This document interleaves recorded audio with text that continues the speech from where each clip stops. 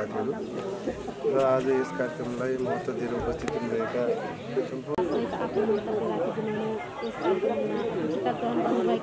नेपाल पत्रकार महासङ्घका अध्यक्ष अनुरोध गर्दछु र आमाको वैकुण्ठवासको कामना गर्दै यो पीडा हामीलाई एकातिर छ भने अर्कोतिर एउटा अत्यन्त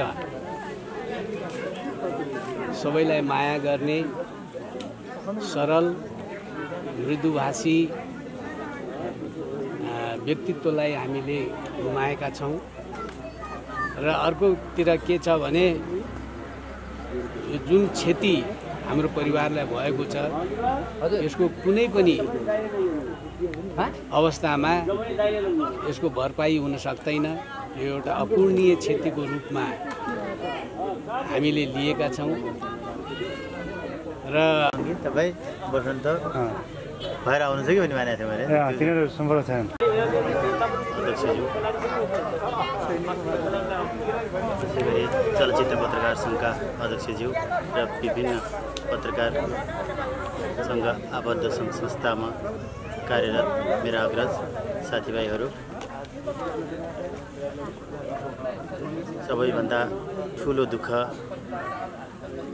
भनेको मातृ प्रेम अथवा मातृवियोग हुन्छ जो मलाई आज परेको छ।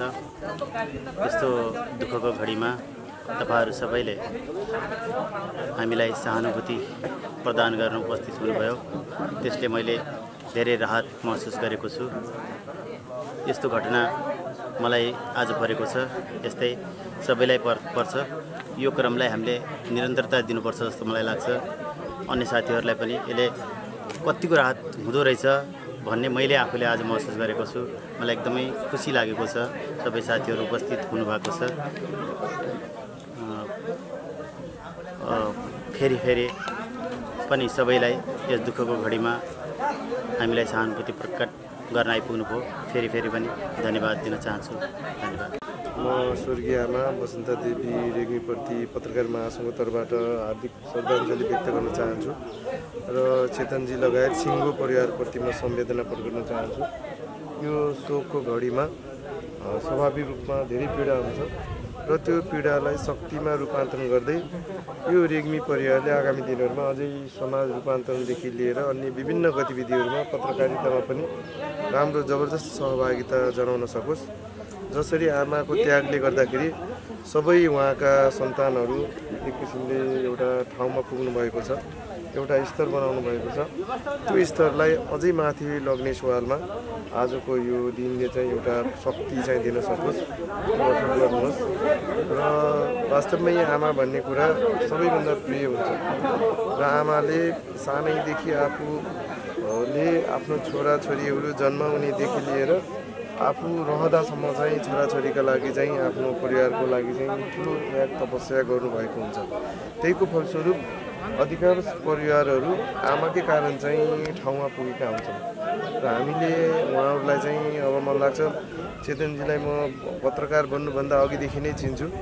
उहाँ र म धेरै समयसँगै पनि हामी बसेका हौँ पढेका हौँ। त्यो मानेमा उहाँलाई यहाँसम्म ल्याइपुर्याउने सवालमा आमाको चाहिँ ठुलो योगदान छ। र त्यो योगदानको फलस्वरूप पनि चेतनजीले आफ्नो ठाउँबाट चाहिँ धेरै राम्रो चाहिँ स्तर बनाउनु भएको छ। काम पनि त्यो किसिमले गरिरहनु भएको छ। आफू जाँदा जोडिनु भएको छ।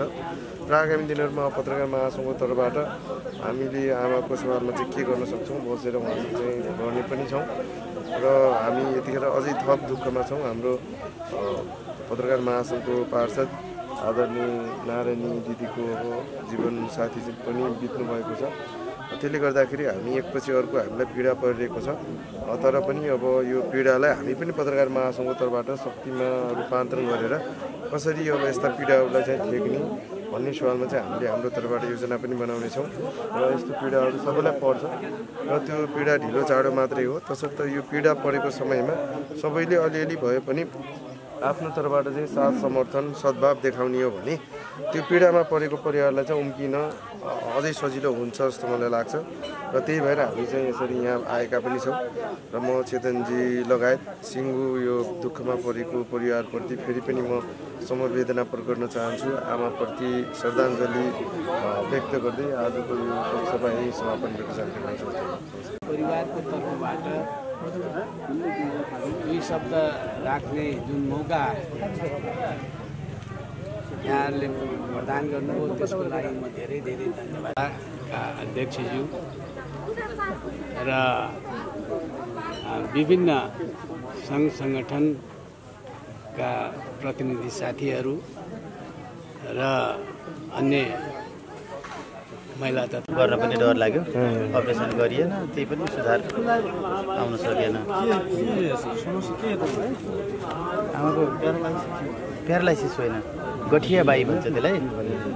यो गाँठाहरूमा बाई हुँदो रहेछ। अनि त्यो बिस्तारै बढ्दै बढ्दै गएर खुट्टा नचल्ने भयो। खुट्टा नचलेपछि हिँड्न नसकेपछि अनि शरीर पनि बिस्तारै त्यो अनुसारले नचल्ने हुँदै गयो आमाको। पछि त लास्टमा प्यारालाइसिस प्यारालाइसिस जस्तै जस्तै भयो तर प्यारालाइसिस होइन। त्यो बाइक खतरा हुँदै गर्थ्यो